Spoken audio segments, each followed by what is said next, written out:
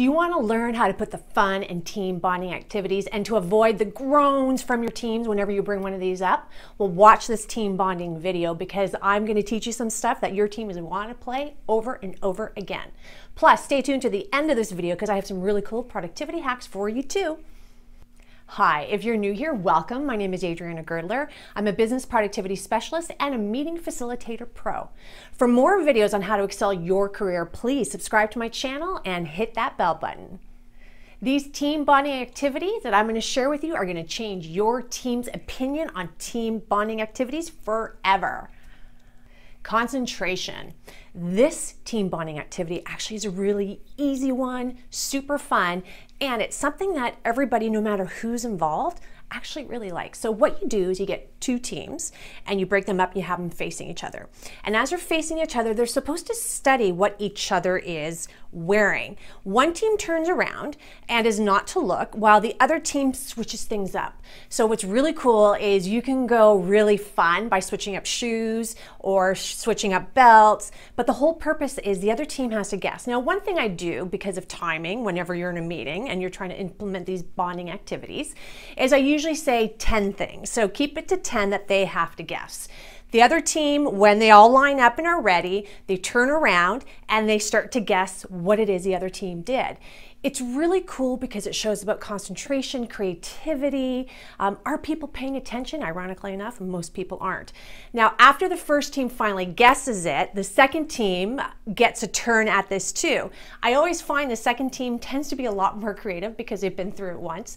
It's a lot of fun. It's just a great way for people to kind of loosen up, stand up, really get engaged, and get to know each other because you start to see what people start to do. Some people like to be a lot of fun and make it easy. Other people like to be like to be a little bit tricky just to see are you truly paying attention. This is a fun one. Three truths and one lie. This is a real fun one. I actually use it in the beginning of my meetings when I'm introducing or when people are introducing themselves to a group. You need to have at least three people in order to do this well. And what you do is you ask people, introduce yourself and tell the group three truths about yourself and one lie. And they just go around the room and as people are saying it, everyone tries to guess what the lie is. It's a lot of fun. Here's an example. Hi, my name is Adriana Girdler. I have a dog. This is my first YouTube video. I'm a runner and I've been married for over 25 years. Let me know in the comment below, what's my lie? If you knew this about me, this one is a great one to really get a really cool understanding of your team members.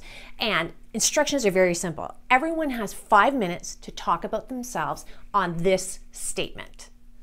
If you knew this about me, you would better understand who I am as a member of this team. Okay, here are the rules around this one, which is really important.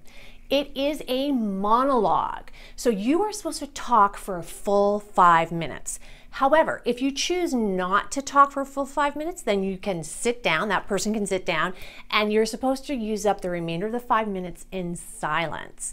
The other point, too, is because it's a monologue, no questions or comments are meant to be asked. And once the person is done speaking for five minutes, they then go to the next person, so on and so forth. So, you got to remember what is it that you want to share. So, think of it this way. You don't want to be sharing your resume, which is on one end of the spectrum, nor do you want to be going to someone's deepest, darkest secrets either. It's in the middle. So you want to share something that people really don't know about you.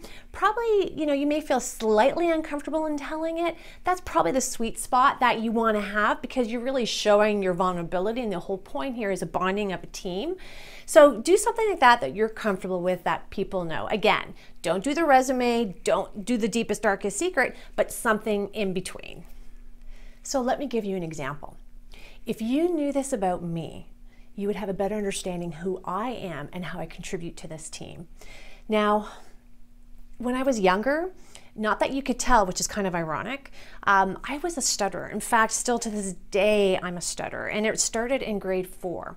So I couldn't even get out a first sentence. So uh, letters that really caught me were M's and I's. So I literally was like, uh, uh, uh.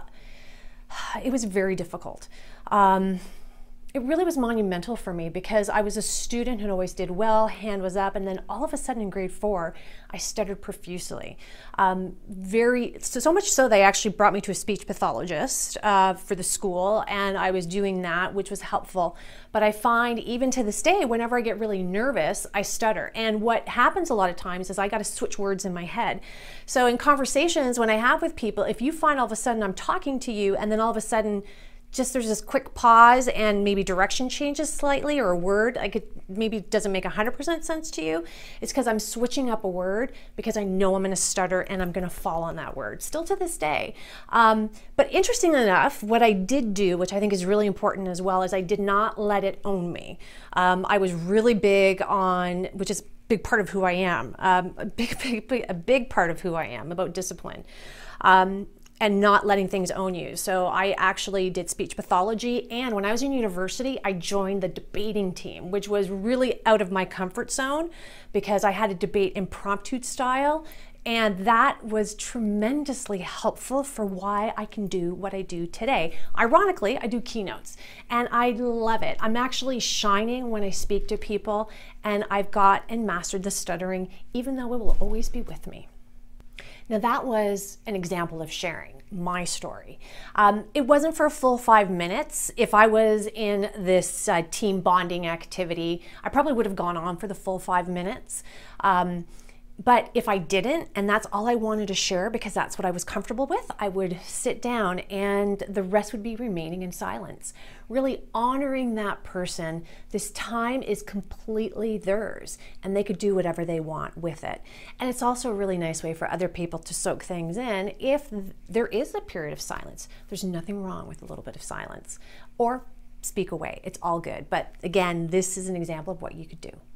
Now that you have your team bonding activities that are not going to create any groans, but people are going to want to do over and over again, it is time for you to go to the link below and grab this some productivity hacks that you can give to your team that is going to help them knock productivity out of the park. Please subscribe to my channel, like the video, and share it with all the professionals and friends that you know. On that note, what's your favorite team bonding activity? Please share it with me in the comments below. I love to hear from you. Until then, have a great day. See you at the next video.